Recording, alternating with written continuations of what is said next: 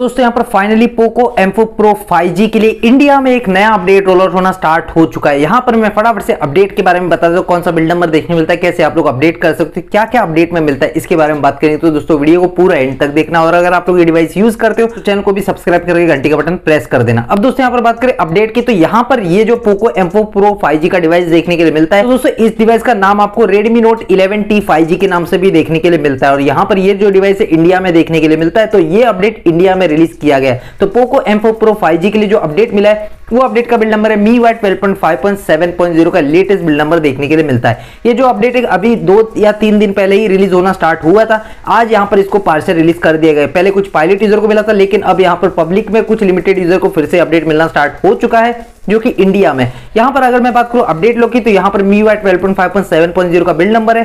Thirty two MB की size मिलती, ज़्यादा नहीं, काफ़ी छोटी साइज़ है। बट यहाँ पर आपको एक लेटेस्ट सिक्योरिटी पैच अपडेट मिलता है। लेटेस्ट तो नहीं बोलूँगा, एक मंथ पुराना यानी कि मे 22 का सिक्योरिटी पैच अपडेट देखने के लिए मिलता है। बाकी यहाँ पर और कुछ नया चेंज लॉग देखने के लिए नहीं मिलता।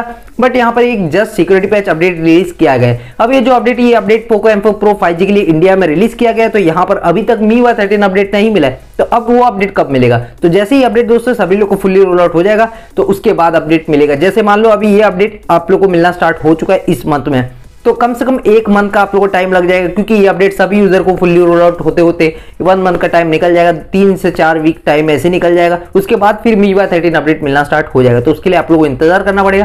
फ़िलहाल के लिए जो अपडेट मिलना स्टार्ट हो चुका है, अगर आपके पास ये डिवाइस जाकर चेक करो, Redmi Note 11T Redmi Note 11T 5G के नाम से भी यही डिवाइस देखने मिलता है और Poco M4 Pro 5G के नाम से भी यही डिवाइस देखने के लिए मिलता है इंडिया में। तो जाकर चेक करो, अगर आपके पास इनमें से कोई भी डिवाइस है तो अपडेट आया होगा, अगर आया तो तुरंत डाउनलोड करके उसको अपडेट कर लेना, अगर नहीं मिला तो इंतज़ार करो, या फिर आप लोग मैनुअली अपडेट कर सकते हैं, इसकी जो लिंक्स है, मैंने ऑलरेडी अपने टेलीग्राम चैनल पर प्रोवाइड करा दिया बाकी टेलीग्राम चैनल को ज़रूर ज्वाइन कर लेना।